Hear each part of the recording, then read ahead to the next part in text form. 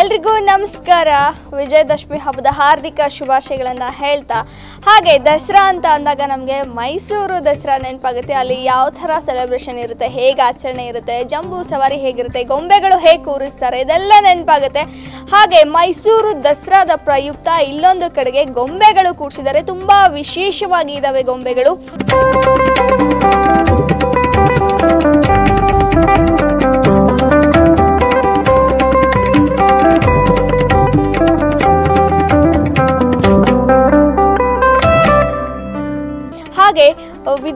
ವಿಧವಾದ ಗೊಂಬೆಗಳು ಕೂಡ ಇಲ್ಲಿ ಇದಾವೆ. ನಾನು ಅದನ್ನ ನೋಡಕ್ಕೆ ಬಂದಿದ್ದೀನಿ. ಹಾಗೆ ಯಾವ ಥರ ಇಲ್ಲಿ ವಿಶಿಷ್ಟತೆಯನ್ನು ಹೊಂದಿದೆ, ಹಾಗೆ ಹೇಗೆಲ್ಲ ಅವರು ಸೆಲೆಬ್ರೇಷನ್ ಮಾಡಿದ್ದಾರೆ, ಏನೆಲ್ಲ ವಿಧಿ ವಿಧಾನಗಳ ಪ್ರಕಾರ ಗೊಂಬೆಗಳನ್ನು ಕೂರಿಸಿದ್ದಾರೆ, ಇದೆಲ್ಲವನ್ನ ನೋಡೋಣ. ನನ್ನ ಜೊತೆಗೆ ಬನ್ನಿ.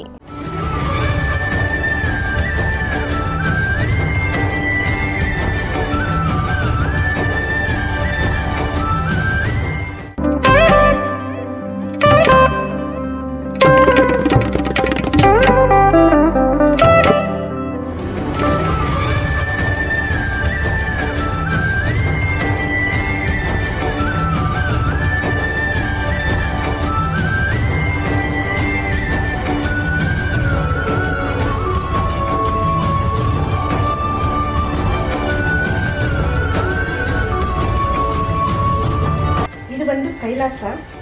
ಈ ಕೈಲಾಸದಲ್ಲಿ ಪಾರ್ವತಿ ಪರಮೇಶ್ವರ ಕೂತಿರೋ ಹಾಗೆ ಇದು ಡೆಕೋರೇಟ್ ಮಾಡಿದ್ದೀನಿ. ನಾವು ಬಂದು ಲಿಂಗಾಯತರಾದ್ರಿಂದ ನಮ್ಗೆ ಶಿವ ಪಾರ್ವತಿ ಕುಳಿಸ್ಬೇಕು ಅನ್ನೋ ಆಸೆ ಇತ್ತು. ಅದನ್ನ ಈ ಕೈಲಾಸದಲ್ಲಿ ಅಲಂಕಾರ ಮಾಡಿ ಕುಳಿಸಿದ್ದೀನಿ ಶಿವ ಪಾರ್ವತಿ ಕೂತಿರೋ ಹಾಗೆ ಕೈಲಾಸದಲ್ಲಿ. ಮತ್ತು ಮತ್ತೆ ಇದು ಬಂದು, ಇದು ದೀಪ ಕುಡಿಸಿರೋ ಸೀರೆ. ಆ ಕಡೆ ಈ ಕಡೆ ಬಂದು ದೀಪದಲ್ಲಿ ಕುಡಿಸಿರೋಂಥ ಸೀರೆ ಇದು ಉಡಿಸಿರೋದು. ಅದು ಬಂದು ವೈಕುಂಠ. ವೈಕುಂಠದಲ್ಲಿ ಶ್ರೀನಿವಾಸ, ಆ ಕಡೆ ಬಂದು ಲಕ್ಷ್ಮಿ, ಈ ಕಡೆ ಪದ್ಮಾವತಿ. ವೈಕುಂಠದಲ್ಲಿ ಕೂತಿರೋ ಹಾಗೆ ಅಲಂಕಾರ ಮಾಡಿದ್ದೀನಿ. ಇನ್ನ ಈ ಕೆಳಗಡೆ ಬಂದು ಇದು ಮಣ್ಣಿನ ಗೊಂಬೆಗಳು. ಇದು ಸುಮಾರು ಒಂದು ನಲವತ್ತು ವರ್ಷದ ಹಳೆ ಗೊಂಬೆಗಳಿಗೆ ಬಣ್ಣ ಬೆಳೆದಿರೋದು. ಹಾಗಾಗಿ ಇದೆಲ್ಲ ಪೂರ್ತಿ ಮಣ್ಣಿನ ಗೊಂಬೆಗಳು ಬರುತ್ತೆ. ಅದು ಬಂದು ಶಿವ ಪಾರ್ವತಿ ಪೂಜೆ ಮಾಡೋ ಇಟ್ಕೊಂಡಿರೋ ಆ ಥರ ಆ ಥರ ಇದೆ ಇದು. ಇದು ಬಂದು ಇನ್ನು ರಾಧಾಕೃಷ್ಣ. ಇಲ್ಲಿ ಬಂದು ನವಿಲಿನಲ್ಲಿ ಕೂತಿರೋಂಥ ಇದು ಭೂದೇವಿ ಶ್ರೀದೇವಿ ಶ್ರೀನಿವಾಸ ಇರಬಹುದು ಅಲ್ಲಿ ಬಂದು ಪಾರ್ವತಿ ಪರಮೇಶ್ವರರು. ಅದರಿಂದ ಕೆಳಗೆ ಬಂದರೆ ಇದು ಬಂದು ಕಳಶ. ಕಳಶ ಸ್ಥಾಪನೆ ಮಾಡ್ತೀವಿ ನಾವು. ಕಳಶ ಪೂಜೆ ಆದ ನಂತರ ಇದು ಪಕ್ಕದಲ್ಲಿ ಏನಂದರೆ ಈ ಮರದ ಗೊಂಬೆಗಳಿಡಬೇಕು ಅಂತ. ಆ ಮರದ ಗೊಂಬೆಗಳಿಗೆ ಇದು ತುಂಬ ಹಳೆಯ ಗೊಂಬೆಗಳು. ಹಳೆ ಗೊಂಬೆಗಳಿಗೆ ಅಲಂಕಾರ ಮಾಡಿ ಈ ಥರ ರೆಡಿ ಮಾಡಿ ಕೂಡಿಸಿದೀವಿ ಪಟ್ಟದ ಗೊಂಬೆ ಅಂತಾರೆ. ಮರದ ಗೊಂಬೆಗಳಿಗೆ ಪಟ್ಟದ ಗೊಂಬೆ ಅಂತಾರೆ. ಅಲಂಕಾರ ಮಾಡಿ ಕೂಡಿಸಿರ್ತೀವಿ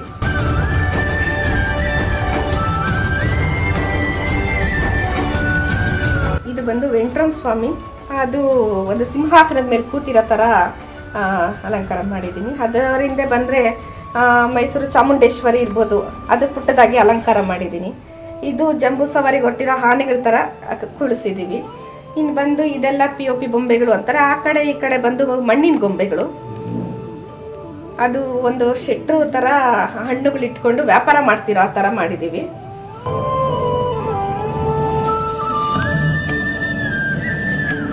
ಇಲ್ಲಿ ಬಂದು ಇಲ್ಲಿ ಒಂದು ಮದುವೆ ಆ ಟೀಮ್ ಇಟ್ಕೊಂಡು ಮದುವೆಗೆ ಕೂತಿರೋ ಥರ ಮದುವೆದು ನಡೀತಾ ಇದೆ. ಆ ಥರ ಒಂದು ಅಲಂಕಾರ ಮಾಡಿದ್ದೀವಿ ಇದು ಬಂದು ಹಳೆ ಕಾಲದ್ದು ಮಣಿ, ಮಣಿಯಲ್ಲಿ ಪೋಣಿಸಿರ್ತಕ್ಕಂಥ ಗೊಂಬೆಗಳು. ಇದು ತುಂಬ ಹಳೆ ಕಾಲದ್ದು, ಒಂದು ಮೂವತ್ತು ವರ್ಷದ ಗೊಂಬೆ ಮಣ್ಣಿನ ಮಣಿ ಗೊಂಬೆಗಳದು.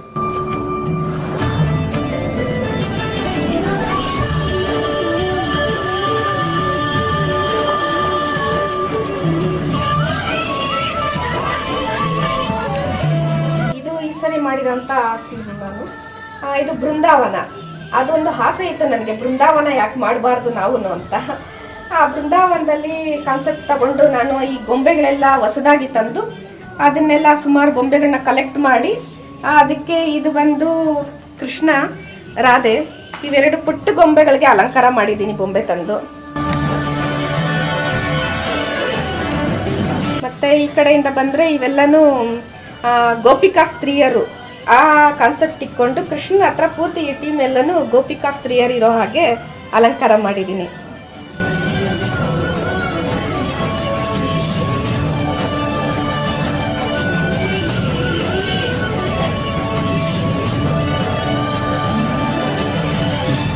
ಕೊನೆಯದಾಗಿ ಹೇಳ್ಬೇಕಂದ್ರೆ ಇದೊಂದು ಲಕ್ಷ್ಮಿ ತರ ಅಲಂಕಾರ, ಲಕ್ಷ್ಮಿ ಕೂತಿರೋ ತರ ಅಲಂಕಾರ ಮಾಡಿ ಇದೊಂದು ಡೆಕೋರೇಟ್ ಮಾಡಿದ್ದೀನಿ ಇಲ್ಲಿ.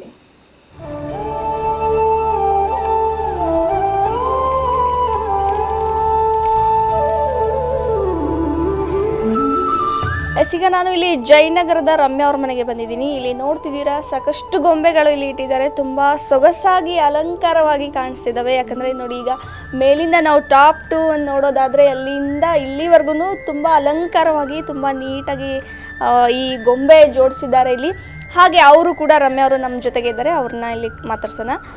ಎಸ್ ಮೇಡಮ್, ನಮಸ್ತೆ. ಕಾರ್ಯಕ್ರಮಕ್ಕೆ ಸ್ವಾಗತ. ನಮಸ್ತೆ ಮೇಡಮ್. ದಸರಾ ಹಬ್ಬದ ಶುಭಾಶಯಗಳು. ಓಕೆ ನಿಮಗೂ ಕೂಡ ದಸರಾ ಹಬ್ಬದ ಶುಭಾಶಯಗಳು. ಈಗ ಈ ಗೊಂಬೆಗಳು ನೋಡ್ತಾ ಇದ್ರೆ ತುಂಬ ಅಂದರೆ ಸಂತೋಷ ಆಗ್ತಾ ಇದೆ, ಅಷ್ಟೇ ಖುಷಿ ಆಗ್ತಿದೆ. ಯಾಕಂದರೆ ಈ ಇಂತಹ ಗೊಂಬೆಗಳು ಕೆಲವ್ರ ಮನೇಲಿ ಅಷ್ಟೇ ಕೂರಿಸ್ತಾರೆ ಇವತ್ತಿನ ದಿನದಲ್ಲಿ. ಈಗ ದಸರಾ ಅಂತ ಅಂದಾಗ ನಮಗೆ ಮೈಸೂರು ದಸರಾ ನೆನಪಾಗುತ್ತೆ. ಹಾಗೆ ನೀವು ಈ ದಸರಾದ ಪ್ರಯುಕ್ತ ಇಷ್ಟೊಂದು ಗೊಂಬೆಗಳು ಇಲ್ಲಿ ಕೂರಿಸಿದ್ದೀರಿ. ಎಷ್ಟು ವರ್ಷದಿಂದ ಈ ಗೊಂಬೆ ಕೂರಿಸ್ತಿದ್ದೀರಿ? ಈ ಒಂದು ಆಚರಣೆ ಹೇಗೆ ನಡೀತಾ ಇದೆ? ಮೊದಲನೇ ದಿನ ಬಂದು ದೇವಿಗೆ ಪ್ರತಿಷ್ಠಾಪನೆ ಮಾಡ್ತೀವಿ. ಪ್ರತಿಷ್ಠಾಪನೆ ಮಾಡಿದ ದಿವಸ ಸಂಜೆ ಮ- ದೇವಿಗೆ ಮಂಗಳಾರತಿ ಮಾಡಿ, ಆರತಿ ಮಾಡಿ ಮಕ್ಕಳನ್ನ ಕರೆದು ಎಕ್ಸ್ಪೆಕ್ಟೇಷನ್ ಇದು ಹೇಳಬೇಕು ಅಂದರೆ ಮುತ್ತೈದೆಯರನ್ನೆಲ್ಲ ಕರೆದು ಕುಂಕುಮ ಕೊಡ್ತೀವಿ. ಮತ್ತು ಮಕ್ಕಳನ್ನ ಕರೆದು, ಇದು ವಿಶೇಷ ಅಂದರೆ ಬೊಂಬೆ ಹಬ್ಬ ಅಂದರೆ ಮಕ್ಕಳನ್ನ ಕರೆದು ತಿಂಡಿಗಳು ಆ ಥರ ಎಲ್ಲ ಕೊಡೋದು. ಅದಕ್ಕೋಸ್ಕರನೇ ಮಕ್ಕಳಿಗೆ ಅಂತಲೇ ಒಂದಿಷ್ಟು ತಿಂಡಿಗಳು ಮಾಡ್ಕೊಂಡಿರ್ತೀವಿ. ಮೊದಲನೇ ದಿನ ಆಗ್ಬೋದು, ಅದು ಪುಟ್ ಪುಟ್ಟದಾಗಿ ಸಣ್ಣ ಇಡ್ಲಿಗಳು ಆ ಥರ ಮಾಡ್ಕೊತೀವಿ. ಸೆಕೆಂಡ್ ಡೇ ಬಂದು ನಾವು ಕೇಸರಿ ಬಾತು ಈ ಥರ ಪ್ರತಿದಿನ ಒಂದೊಂದು ತಿಂಡಿಗಳು ಮಾಡಿಕೊಂಡು ಮಕ್ಕಳನ್ನ ಕರೆದು ಕೊಡ್ತೀವಿ. ಅದು ಬಂದು ಈಗ ಲಲಿತಾ ಸಹಸ್ರನಾಮ ಮಾಡಿಸ್ತೀವಿ ಒಂದು ಏಳನೇ ದಿನ ಬಂದು ಸ, ಲಲಿತಾ ಸಹಸ್ರನಾಮ ಕರೆಸಿ ಮುತ್ತೈದೆಯರೆಲ್ಲ ಸೇರಿ ಲಲಿತಾ ಸಹಸ್ರನಾಮ ಹಾಡಿಸ್ತೀನಿ. ಆಮೇಲೆ ಸರಸ್ವತಿ ಪೂಜೆ ದಿನ ಬಂದು, ಅವತ್ತು ಸಿ ದೇವಸೆ ಬಂದು ವಿಶೇಷ ಸರಸ್ವತಿ ದೇವಿಗೆ ನೈವೇದ್ಯಕ್ಕೆ. ಆ ಪುಟ್ಟದಾಗ ದೋಸೆಗಳು ಹಾಕ್ತೀವಿ ದೋಸೆಗಳಾಗಿ ಮಕ್ಕಳಿಗೆಲ್ಲ ಹಂಚಿ ಜೊತೆಗೆ ಸರಸ್ವತಿ ಪೂಜೆಗೆ ಮಕ್ಕಳಿಗೆ ಒಂದು ವಿದ್ಯಾದಾನ ಮಾಡಬೇಕು ಅಂತ ಹೇಳ್ತಾರೆ. ನಮ್ಮ ಕೈಲಾದದ್ದು ಒಂದು ಬುಕ್ ಪೆನ್ ಆ ಥರ ಇರ್ಬೋದು. ಎಲ್ಲ ಮಕ್ಕಳಿಗೆ ಸಣ್ಣ ಸಣ್ಣ ಮಕ್ಕಳನ್ನ ಕರೆದು ಕೊಡ್ತೀವಿ. ಮತ್ತು ಇವತ್ತು ಬಂದು ದುರ್ಗಾ ಪೂಜೆ. ದುರ್ಗಾ ಪೂಜೆ ದಿನ ಬಂದು ಹೆಣ್ಣು ಮಕ್ಕಳು ವಿಶೇಷ ನವದುರ್ಗೆಯರು ಅಂತ ಹೇಳ್ತಾರೆ. ಒಂದು ಒಂಬತ್ತು ಮಕ್ಕಳನ್ನ ಕರೆದು ಅಥವಾ ಇನ್ನೂ ಜಾಸ್ತಿ ಆಗಬಹುದು. ಅಂಥ ಮಕ್ಕಳನ್ನೆಲ್ಲ ಕರೆದು ಅವ್ರ ಅಲಂಕಾರ ಅಂದರೆ ಒಂದು ಸರ, ಬಳೆ ಸ್ಟಿಗ ಈ ಥರ ಇರ್ಬೋದು. ಅದನ್ನೆಲ್ಲ ತಂದು ಮಕ್ಕಳಿಗೆ ಕೊಡೋದು ಒಂದು ವಾಡಿಕೆ ನಮ್ಮ ಮನೆಯಲ್ಲಿ. ಅವತ್ತಿಂದ ಅದು ನಡೆಸ್ಕೊಂಬಂದಿದ್ದೀವಿ ಈಗಲೂ ನಡೆಸ್ತಾ ಇದ್ದೀವಿ ಹಾಗಾಗಿ ಈಗ ಕೊನೆ ದಿನ ಬಂದು ಮಕ್ಕಳ ಆರತಿ ಎತ್ತಿ ಎಲ್ಲ ಮಕ್ಕಳನ್ನು ಕರೆದು ಒಂದು ಸ್ವೀಟ್ ಹಂಚುತ್ತೀವಿ. ಇದು ನಮ್ಮನೆ ವಿಶೇಷತೆ. ಬಂದು ನಮ್ಮ ಮಾವ ಅವ್ರ ಕಾಲದಾಗಿಂದನೂ, ಅಂದರೆ ಅವ್ರ ತಂದೆ ಕಾಲದಾಗಿಂದನೂ ನಡ್ಕೊಂಬಂದಿದೆ ನಾವು ಇದನ್ನು ಸ್ವಲ್ಪ ಡೆಕೋರೇಟ್ ಮಾಡಿ ಒಂದು ಹದಿನೆಂಟು ವರ್ಷದಿಂದ ಡೆಕೋರೇಷನ್ ಮಾಡೋಕ್ಕೆ ಸ್ವಲ್ಪ ಸ್ವಲ್ಪ ಮಟ್ಟಿಗೆ ಈ ಲೆವೆಲಿಗೆ ಬಂದಿದೆ ಮೇಡಮ್ ಅಂದರೆ ಇದನ್ನು ನೀವು ಮೊದಲು ಅಂದರೆ ಎಷ್ಟು ವರ್ಷದಿಂದ ಆಚರಿಸಿದ್ರಿ? ಹಾಗೆ ಈ ಮನೆಗೆ ಬಂದು ಅಂದರೆ ಇಲ್ಲಿ ಎಷ್ಟು ವರ್ಷದಿಂದ ಆಚರಿಸ್ತಿದ್ರಿ? ಆಮೇಲೆ ಯಾಕೆ ಈ ಒಂದು ಗೊಂಬೆ ಕೂರಿಸೋದು ಆಚರಣೆ ನಿಮ್ಮಲ್ಲಿ ಬಂತು ಅಂತ ಇಂಟ್ರೆಸ್ಟ್ ಮೇಡಮ್, ಅದು ಬಂದು ನಮ್ಮ ಅತ್ತೆ ಕಾಲದಿಂದ ಅದು ನಡೆಸ್ಕೊಂಬಂದಿದ್ರು ಅದು ಕೆಲವೊಂದು ಪೇಪರು ಈ ಥರ ನೋಡಿದಾಗೆಲ್ಲ ನನಗೆ ಸ್ವಲ್ಪ ಕ್ಯೂರಿಯಾಸಿಟಿ ಇತ್ತು, ಈ ಥರ ಮಾಡಬೇಕು, ಈ ಥರ ಡೆಕೋರೇಟ್ ಮಾಡಬೇಕು. ನಾನು ಯಾಕೆ ಟ್ರಯಲ್ ಮಾಡಬಾರ್ದು? ನಮ್ಮ ಸಂಸ್ಕೃತಿ ನಡೆಸ್ಕೊಂಬಂದಿದೆ ಅದನ್ನು ಮುಂದುವರಿಸ್ಬೇಕು ಅನ್ನೋ ಆಸೆ ಇತ್ತು. ಅದನ್ನು ನಾನು ನಡೆಸ್ಕೊಂಬರ್ತಾ ಇದ್ದೀನಿ ಮೇಡಮ್. ಎಸ್, ಈಗ ಇಷ್ಟೊಂದು ಗೊಂಬೆಗಳು ಕೂರಿಸಿದ್ದೀರಲ್ಲ ಇದು. ಎಷ್ಟು ಗೊಂಬೆಗಳು ಇದ್ದಾವೆ ಇಲ್ಲಿ? ಅಂದರೆ ಯಾವ್ಯಾವ ಥರದ ಗೊಂಬೆಗಳು ಕೂರಿಸಿದ್ದೀರಿ? ಇಲ್ಲಿ ಬಂದು ಮೇಡಮ್ ಕೈಲಾಸದ್ದು ಒಂದು ಮಾಡಿದ್ದೀನಿ. ಅದು ಶಿವ ಪಾರ್ವತಿ ಕೂತಿರೋ ಥರ ಕೈಲಾಸದ್ದು ಮಾಡಿದ್ದೀನಿ. ಮತ್ತು ಇಲ್ಲಿ ಬಂದು ವಿಷ್ಣು, ಲಕ್ಷ್ಮಿ, ಪದ್ಮಾವತಿ, ಅದು ವೈಕುಂಠದಲ್ಲಿ ಕೂತಿರೋ ಹಾಗೆ ಅಲಂಕಾರ ಮಾಡಿದ್ದೀನಿ. ಅದರಿಂದ ಕೆಳಗೆ ಬಂದರೆ ಮೇಡಮ್ ಮಣ್ಣಿನ ಗೊಂಬೆಗಳು. ಆ ಕಡೆ ಈ ಕಡೆ ದೀಪಕ್ಕೆ ಸೀರೆ ಉಡಿಸಿದ್ದೀನಿ. ದೀಪ ಇರಬೇಕು ಅಂತ ಅದು ಅಲಂಕಾರವಾಗಿಲ್ಲ ಅಂತ ಸೀರೆ ಉಡಿಸಿ ಡೆಕೋರೇಟ್ ಮಾಡಿದ್ದೀನಿ. ಇದು ಬಂದು ಹಳೆ ಕಾಲದ್ದು ಸುಮಾರು ಒಂದು ನಲವತ್ತು ವರ್ಷದ ಮಣ್ಣಿನ ಗೊಂಬೆಗಳು. ಅದಕ್ಕೆ ಪೈಂಟ್ ಮಾಡಿ ಅದನ್ನು ಡೆಕೋರೇಟ್ ಮಾಡಿದ್ದೀನಿ ಅದರಿಂದ ಕೆಳಗೆ ಬಂದರೆ ಮೇಡಮ್ ಇದು ಬಂದು ಎಲ್ಲನೂ ಪಟ್ಟದ ಗೊಂಬೆಗಳು. ಅದು ಪಟ್ಟದ ಗೊಂಬೆ ಮನೆಯಲ್ಲೆಲ್ಲ ಒಂದು, ಎರಡು ಅಂದರೆ ಜೊತೆ ಇಟ್ಕೊಂಡಿರ್ತಾರೆ. ನಮ್ಮದು ಹಳೆ ಕಾಲದ್ದೆಲ್ಲ ಗೊಂಬೆನ ನಾನು ಕಲೆಕ್ಟ್ ಮಾಡಿ ಅದಕ್ಕೆಲ್ಲ ಈ ಸರಿ ಫುಲ್ ಡೆಕೋರೇಟಾಗಿ ಡ್ರೆಸ್ ಮಾಡಿದ್ದೀನಿ ಅದರಿಂದ ಕೆಳಗೆ ಬಂದರೆ ಮೇಡಮ್ ಇದು ಬಂದು ಚಾಮುಂಡೇಶ್ವರಿದು. ಅದು ಮೈಸೂರದು ಅವತ್ತಿಂದ ನಡ್ಕೊಂಬಂದಿದೆ ನಮ್ಮ ಮನೇಲೂ ಇಡಬೇಕು ಅನ್ನೋ ಆಸೆ. ಅದಕ್ಕೆ ಸಿಂಪಲ್ಲಾಗಿ ಒಂದು ಚಾಮುಂಡೇಶ್ವರಿ ಕೂಡಿಸಿದ್ದೀನಿ ಎಸ್, ಈಗ ಇಷ್ಟೊಂದು ಗೊಂಬೆಗಳು ಇಲ್ಲಿ ಕಾಣಿಸ್ತಿದಾವಲ್ಲ, ಇದನ್ನೆಲ್ಲ ಈಗ ಇಷ್ಟೊಂದು ಜೋಡಿಸ್ಬೇಕು ಅಂತಂದರೆ ನಿಮ್ಮ ಒಂದು ನವರಾತ್ರಿ ಟೈಮಲ್ಲಿ ಇದನ್ನೆಲ್ಲ ನೀವು ಪ್ರಿಪ್ರೇಷನ್ ಮಾಡಬೇಕಾಗುತ್ತೆ. ಹೇಗಿತ್ತು ಆ ಒಂದು ದಿನ ಅಲ್ಲಿ? ಅಂದರೆ ಇಷ್ಟು ಗೊಂಬೆಗಳು ಕೂರಿಸ್ಬೇಕು ಅಂತಂದರೆ ಸುಮ್ಮನೆ ಅಲ್ಲ, ಯಾಕಂದರೆ ತುಂಬ ಪೇಷನ್ಸ್ ಬೇಕು, ಆಮೇಲೆ ನಿಮಗೆ ಇನ್ನೊಬ್ಬರ ಸಹಾಯ ಕೂಡ ಬೇಕಾಗಿರುತ್ತೆ. ಯಾವ ಥರ ಇತ್ತು ಆ ಒಂದು ಪ್ರಿಪ್ರೇಷನ್ ನಿಮಗೆ ಇಲ್ಲಿ? ಸಹಾಯನ ಒಂದು ತಿಂಗಳಿಂದ ಪ್ರಿಪೇರ್ ಮಾಡ್ಕೊಂಡಿದ್ದೀನಿ. ಇದನ್ನು ನನಗೆ ನಮ್ಮ ಮಾವ ಅವರಾಗಿರ್ಬೋದು ನಮ್ಮ ಅತ್ತೆ, ನಮ್ಮ ಮನೆಯವರು, ನನ್ನ ಮಕ್ಕಳು ಎಲ್ಲ ಸಪೋರ್ಟ್ ಕೊಡ್ತಾರೆ. ಅದರಿಂದ ನನಗೂ ಸ್ವಲ್ಪ ಇನ್ನೂ ಕ್ಯೂರಿಯಾಸಿಟಿ ಆಗುತ್ತೆ ಯಾಕಂದರೆ ಮನೇಲಿ ಫಸ್ಟ್ ಸ ಹೆಲ್ಪಿಂಗ್ ನೇಚರ್ ಇರಬೇಕು. ಅದು ಹೆಲ್ಪ್ ಬಂದರೆ ನಮಗೂ ಮಾಡೋಕ್ಕೆ ಖುಷಿ ಆಗುತ್ತೆ.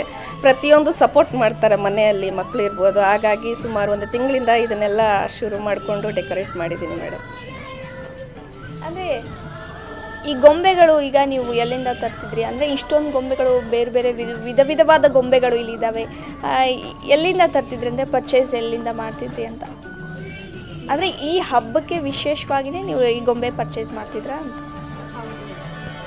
ಬೊಂಬೆ ಹಬ್ಬಕ್ಕೆ ಅಂತಲೇ ನಾನು ಎಲ್ಲಾನ ಟ್ರಿಪ್ ಹೋದ್ರು, ಹೊರಗಡೆ ಹೋದಾಗ ಅಲ್ಲಿ ಸ್ವಲ್ಪ ಕಲೆಕ್ಟ್ ಮಾಡ್ಕೊಂಡು ಬರ್ತಿದ್ದೆ. ಎಲ್ಲಾನ ನೋಡಿದ್ರೆ ನನಗೆ ಫಸ್ಟು ಕಣ್ಣು ಹೋಗೋದೇ ಈ ಗೊಂಬೆಗಳ ಮೇಲೆ ದಸರಾ ಹಬ್ಬಕ್ಕೆ ಡೆಕೋರೇಷನ್ಗೆ ಕೆಲವೊಂದು ವಿಚಿ ಒಂದು ಚೆನ್ನಾಗಿರೋಂಥ ಬೊಂಬೆಗಳನ್ನ ನೋಡಿದಾಗೆಲ್ಲ ಕಲೆಕ್ಟ್ ಮಾಡ್ಕೊಂಡು ತೊಗೊಂಡು ಬರ್ತೀನಿ. ಪ್ರತಿ ವರ್ಷ ಹೆಚ್ಚಿಸ್ತಾ ಹೋಗಬೇಕು ಬೊಂಬೆಗಳನ್ನ ಹಂಗಾಗಿ ವರ್ಷ ವರ್ಷ ವರ್ಷ ವರ್ಷ ಹೀಗೆ ಬಂದು ಬಂದು ಅದು ಸ್ವಲ್ಪ ಜಾಸ್ತಿ ಆಗ್ತಾ ಹೋಗಿದೆ. ಅದು ಅದೇ ಹೇಳ್ಬೇನೆ, ಈ ಪ್ರತಿ ವರ್ಷ ಒಂದೊಂದು ಕಲೆಕ್ಟ್ ಮಾಡಿಕೊಂಡು ಅದಕ್ಕೊಂಥರ ಕಾನ್ಸೆಪ್ಟ್ ಇಟ್ಕೊಂಡು ಡೆಕೋರೇಟ್ ಮಾಡ್ತೀನಿ. ಈ ಸರಿ ಬಂದು ಬೃಂದಾವನದ್ದು ಡೆಕೋರೇಟ್ ಮಾಡಿದ್ದೀನಿ, ವಿಶೇಷ ಈ ವರ್ಷದ್ದು. ಹೋದ ವರ್ಷ ಅಂದರೆ ಕೈಲಾಸದ್ದು ಮಾಡಿದೆ. ಪ್ರತಿ ವರ್ಷ ಒಂದೊಂದು. ಅದಕ್ಕೆ ಮುಂಚೆ ಬಂದು ಈ ವೈಕುಂಠದ, ಆ ವೈಕುಂಠದಲ್ಲಿ ವಿಷ್ಣು ಲಕ್ಷ್ಮಿ, ಪದ್ಮಾವತಿ ಪ್ರತಿ ವರ್ಷ ಒಂದೊಂದು ಹೆಚ್ಚಿಸ್ಕೊತಾ ಬರ್ತಿದ್ದೀನಿ ಮೇಡಮ್. ಈಗ ಎಷ್ಟು ವರ್ಷದಿಂದ ಈ ಗೊಂಬೆ ಕೂರಿಸಿದ್ರಿ? ಹಾಗೆ ನಿಮಗೆ ಯಾಕೆ ಅಂದರೆ ಇಂಟ್ರೆಸ್ಟ್ ಬಂತು? ಗೊಂಬೆ ಕೂರಿಸಿ ನಾವು ಆಚರಿಸ್ಬೇಕು ಅನ್ನೋದು ನಿಮ್ಮಲ್ಲಿ ಹೇಗೆ ಆ ಒಂದು ಕುತೂಹಲ ಬಂತು ಅಂತ? ಮೇಡಮ್, ಅದು ಬಂದು ನನಗೆ ಚಿಕ್ಕದ್ರಿಂದನೂ ಅಷ್ಟೇ ಬೊಂಬೆಗಳು ಅಂದರೆ ತುಂಬ ಆಸೆ. ಅದು ಸಣ್ಣ ಬೊಂಬೆಗಳು ಸಿಗೋದಲ್ವ? ಅದಕ್ಕೆ ಒಂದು ಅಲಂಕಾರ ಮಾಡ್ತಾ ಮಾಡ್ತಾ ಅದೊಂದು ಆಸೆ ಇತ್ತು. ಯಾಕೆ ನಾನು ಒಂದು ಪ್ರಯತ್ನ ಪಡಬಾರ್ದು ಅನ್ನೋ ಒಂದು ಆಸೆ ಹುಟ್ಟು ಬಟ್ ನಾನು ಎಲ್ಲೂ ನೋಡಿಲ್ಲ. ಬಟ್ ನಾನೇ ಒಂದು ಮಾಡ್ತಾ ಮಾಡ್ತಾ ಮಾಡ್ತಾ ಅದು ಈಗ ಒಂದು ಹಂತಕ್ಕೆ ಬಂದಿದೆ ಮೇಡಮ್. ಅದು ಮೊದಲಿಂದನೂ ಅಷ್ಟೇ ಒಂದು ಆಸೆ ಇತ್ತು. ಈ ಥರ ಮಾಡಬೇಕು ಅನ್ನೋದಿತ್ತು. ಅದು ಈ ದಸರಾ ಹಬ್ಬದಲ್ಲಿ ಆ ಆಸೆನ ಇದು ಮಾಡ್ಕೊಂಡು ಹೆಸ್ಕೊಂಡಿದ್ದೀನಿ. ಎಸ್ ಈಗ ಇಷ್ಟು ಗೊಂಬೆಗಳು ಇವತ್ತು ಕೂರಿಸಿದ್ರಲ್ಲ, ಈಗ ಪ್ರತಿ ವರ್ಷನೂ ಗೊಂಬೆಯಲ್ಲಿ ಮತ್ತೆ ಇನ್ನು ಆ್ಯಡ್ ಮಾಡ್ತಾ ಹೋಗ್ತಿರ್ತೀರ? ಅಥವಾ ಇಷ್ಟೇ ಗೊಂಬೆನ ಪ್ರತಿ ವರ್ಷ ನೀವು ಇಡೋದಾ? ಪ್ರತಿ ವರ್ಷ ಆ್ಯಡ್ ಮಾಡ್ಕೊಂಡು ಹೋಗ್ತೀವಿ ಮೇಡಮ್. ಪ್ರತಿ ವರ್ಷ ಒಂದೊಂದು ಬೊಂಬೆಗಳು ತೊಗೊಂಬರ್ತೀವಿ. ಅದು ಪ್ರತಿ ವರ್ಷ ಹೆಚ್ಚಿಸ್ತಾನೆ ಹೋಗಬೇಕು.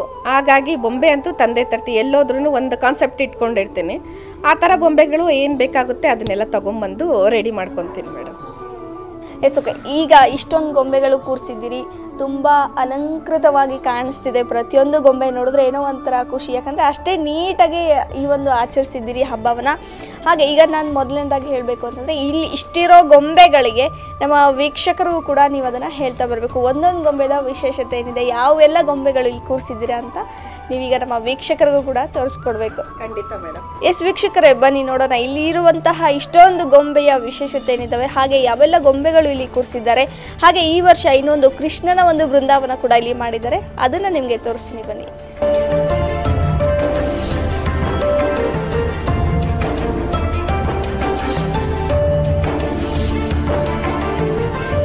ಇದು ಈ ಸರಿ ಮಾಡಿರೋಂಥ ಸೀರೆ ನಾನು. ಇದು ಬೃಂದಾವನ. ಅದೊಂದು ಆಸೆ ಇತ್ತು ನನಗೆ. ಬೃಂದಾವನ ಯಾಕೆ ಮಾಡಬಾರ್ದು ನಾವು ಅಂತ. ಆ, ಬೃಂದಾವನದಲ್ಲಿ ಕಾನ್ಸೆಪ್ಟ್ ತಗೊಂಡು ನಾನು ಈ ಗೊಂಬೆಗಳೆಲ್ಲ ಹೊಸದಾಗಿ ತಂದು ಅದನ್ನೆಲ್ಲ ಸುಮಾರು ಬೊಂಬೆಗಳನ್ನ ಕಲೆಕ್ಟ್ ಮಾಡಿ ಅದಕ್ಕೆ ಇದು ಬಂದು ಕೃಷ್ಣ, ರಾಧೆ, ಇವೆರಡು ಪುಟ್ಟ ಗೊಂಬೆಗಳಿಗೆ ಅಲಂಕಾರ ಮಾಡಿದ್ದೀನಿ ಗೊಂಬೆ ತಂದು.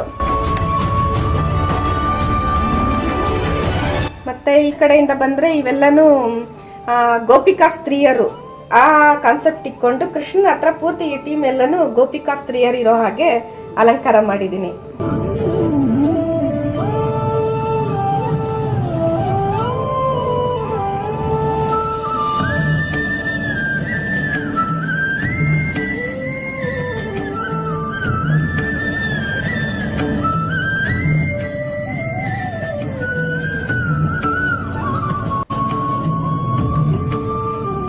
ಎಸ್ ಈಗ ನೋಡಿದ್ರಿ ನೀವು ಪ್ರತಿಯೊಂದು ಗೊಂಬೆ ಯಾವುದೆಲ್ಲ ಇತ್ತು ಇಲ್ಲಿ ಅಂತ ಎಲ್ಲ ಎಕ್ಸ್ಪ್ಲೇನ್ ಮಾಡಿದರು. ಸೊ ನಿಮ್ಮ ಮನೆಯಲ್ಲೂ ನೀವು ಕೂಡ ಕೂರಿಸಿ.